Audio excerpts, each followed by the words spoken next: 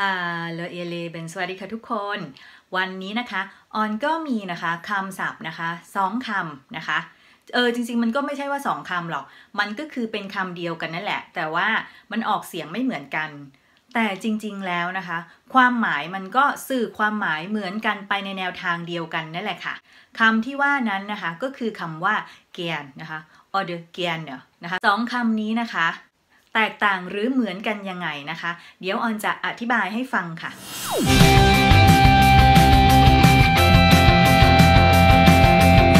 คำว่าเกียน or the เกียนเนี่ยนะคะสองคำนี้นะคะมันไม่ได้แบบว่ามีความหมายอะไรที่มันต่างกันเลยนะคะสองคำนี้นะคะมันก็ถือเป็นคำมาตรฐานนะคะของภาษาเยอรมันอยู่แล้วนะคะ ขึ้นอยู่กับว่าเราจะเลือกเอาไปพูดยังไงนะคะ สื่อความหมายนะคะเหมือนกันเลยนะคะ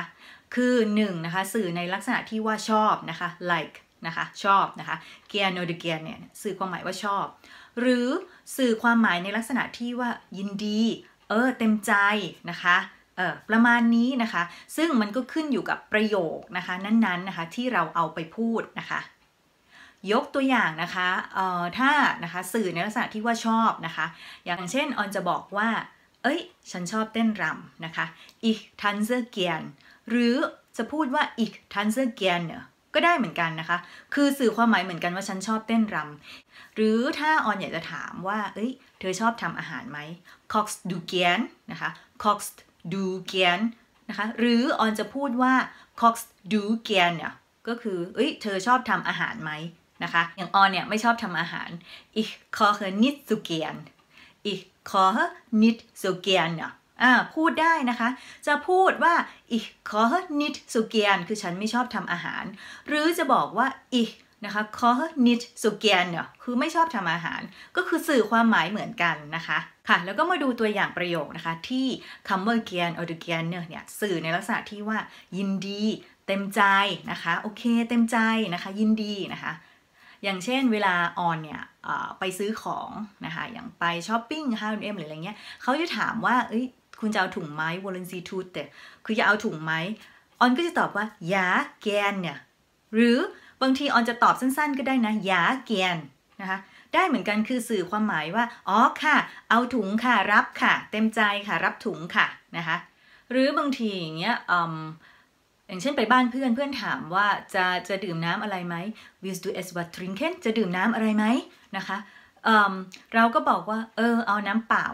แก้วหนึ่งละกันก็อีก hätte gern หรือจะบอกว่าอีก hätte gern เนี่ยนะคะ ein Glas นะคะ Wasser นะคะ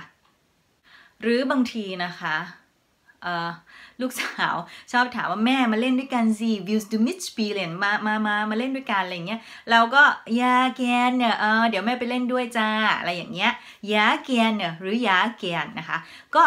คำว่าเกียนออดูเกียนเนี่ยมันก็สื่อลักษณะที่ว่าเอ้ยยินดีเต็มใจนะสรุปนะคะก็คือคำว่าเกียนออดูเกียนเนี่ยความ หมายนะคะ ไม่ได้ต่างกันเลยอยู่ที่ว่าเราจะเอา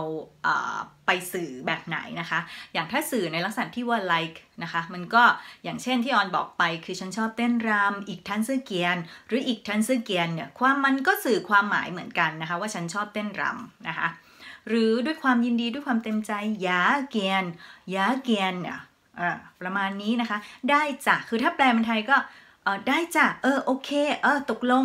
มันก็ขึ้นอยู่กับว่าประโยคก่อนหน้านั้นเขาถามอะไรเรานึกออกปะคะเออหรือจะเอาไปสื่อในลักษณะที่ว่าเอออย่างเงี้ยที่แบบเออฉันอยากจะได้น้ำหนึ่งแก้วอย่างเงี้ยก็สุภาพไปนะคะอีกเฮดเกียนนะคะอีกเฮดเกียนเนี่ย I glass water นะคะก็ประมาณนี้นะคะ หวังว่าคลิปนี้จะพอมีประโยชน์บ้างไม่มากก็น้อยนะคะทุกคน ก็แล้วเจอกันใหม่นะคะในคลิปวิดีโอหน้านะคะเช้าเช้า